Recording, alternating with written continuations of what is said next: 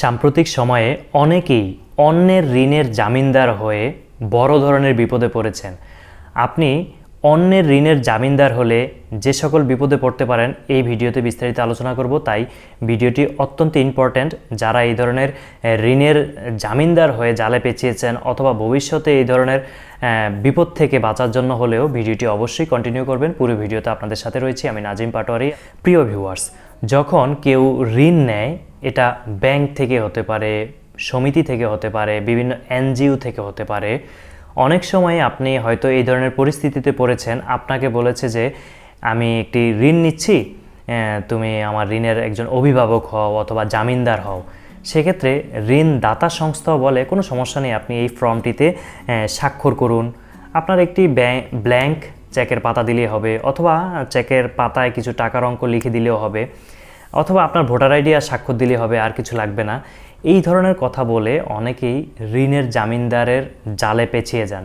উদাহরণস্বরূপ আপনার বন্ধু পাঁচ লক্ষ টাকা ঋণ নিয়েছে, আপনি জামিনদার। সম্পর্ক বন্ধুর সাথে এখন ভালো আছে, কোনো সমস্যা নেই। কখনো বন্ধুর সাথে সম্পর্ক খারাপ হতে পারে, অথবা সম্পর্ক ভালো আছে, কিন্তু বন্ধু ঋণের টাকা দিতে পারছে না। তার অর্থনৈতিক সমস্যা চলে আসছে। ঋণ দানকারী প্রতিষ্ঠান যদি ঋণ গ্রহীতার কাছ থেকে ঋণ আদায় করতে না পারে, সেক্ষেত্রে অথবা ঋণ গ্রহিতাকে যদি খুঁজে না পায় অথবা মৃত্যুবরণ করে, সেক্ষেত্রে এই ঋণের টাকা কিন্তু জামিনদার হিসাবে আপনাকেই দিতে হবে। আপনি যত কৌশলী অবলম্বন না করেন না কেন, আপনি এক, তারা একটা পর্যায়ে আপনার কাছে টাকা চাইবে। যখন তারা আপনার কাছ থেকে টাকা পাবে না, তখন তারা আইনের আশ্রয় নেবে। এবং আইনের আশ্রয় গেলেও একটা পর্যায়ে গিয়ে আপনাকে ওই যে ঋণের টাকা অবশিষ্ট যে টাকা থাকবে, যেটা আপনার বন্ধু বা পরিচিতজন দিতে পারেনি, সেই টাকাটা আপনাকেই পরিশোধ করতে হবে ইন্টারেস্ট সহ। তাই যে কারও ঋণের জামিনদার হওয়ার আগে বারবার ভেবেচিন্তে জামিনদার হবেন। কারণ শুধু এটা যে টাকার ঋণের ক্ষেত্রেই তা নয়, অনেক সময় অনেকে প্রোডাক্ট কিনেন বিভিন্ন প্রতিষ্ঠান থেকে। এটা গাড়ি হতে পারে, বাড়ি হতে পারে, বিভিন্ন পণ্য হতে পারে। এই ধরনের জিনিসগুলো কেনার ক্ষেত্রেও জামিনদার প্রয়োজন হয়। অথবা পরিচয় দানকারীর মতো করে একটি সম্পর্কও তৈরি করা হয়, বিভিন্ন কৌশল রয়েছে বিভিন্ন প্রতিষ্ঠানে।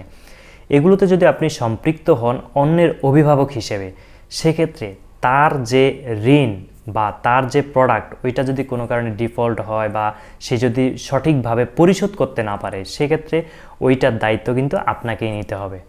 আপনি না নিতে চাইলেও মামলার মাধ্যমে আপনাকে সেটাতে সম্পৃক্ত করা হবে। তাই কারও ঋণের জামিনদার হতে গেলে অবশ্যই ভেবেচিন্তে হবেন, মাথায় রাখবেন, এই টাকাটা কখনো আপনাকেও দিতে হতে পারে। আশা করি এই ধরনের তথ্যমূলক ভিডিও থেকে আপনারা অনেক উপকৃত হচ্ছেন এবং সচেতন হচ্ছেন। এই ধরনের নিত্য নতুন তথ্যবহুল ভিডিও এবং ইনফরমেশন টেকনোলজি সংক্রান্ত বিভিন্ন ভিডিও আমাদের চ্যানেলে নিয়মিত আপলোড করা হয়। তাই চ্যানেলটি ইউটিউবে সাবস্ক্রাইব করুন এবং ফেসবুকে ফলো করুন। আমাদের সাথে থাকার জন্য অসংখ্য ধন্যবাদ। আল্লাহ হাফিজ।